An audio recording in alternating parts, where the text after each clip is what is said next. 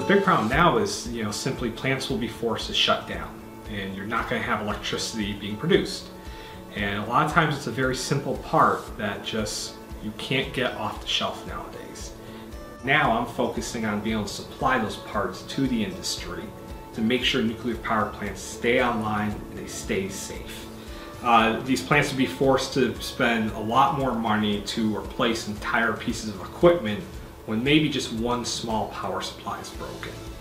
You know, it, maybe it's only a thousand dollar part, but you're to spend millions of dollars to put in a brand new system because that one part isn't available. This original power supply is used in a nuclear power plant. This is from the 1970s. It is obsolete and right now costs about $70,000 just to have it overhauled. Even if that just means one capacitor. It weighs almost 30 pounds and all the components inside are obsolete. So really this is you know a high risk power supply that plants do need but you can't buy. This is my modern replacement that's been designed. This only weighs about five pounds and it's all modern military spec components that are readily available and this entire unit will slide in and form, fit, and function just like the original. And the plant won't even notice a difference. So getting started with SOLIDWORKS PCB was incredibly easy, just like regular SOLIDWORKS. About a day and a half after getting my license, I was able to actually completely design and send out to manufacturing a PCB. This is an LCD adapter that, you know, really just took maybe 24 hours to design.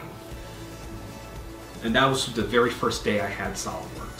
This is really groundbreaking uh, technology here that taking old chassis and being able to put new technology into it. Right now that's just unheard of in the industry. These two tools work automatically with each other there's no converting, there's nothing. They just click a button and it works.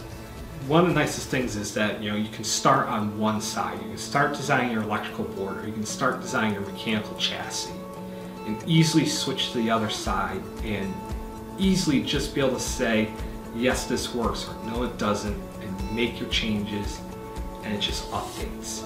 And being able to send that data back and forth very quickly saves you a lot of time.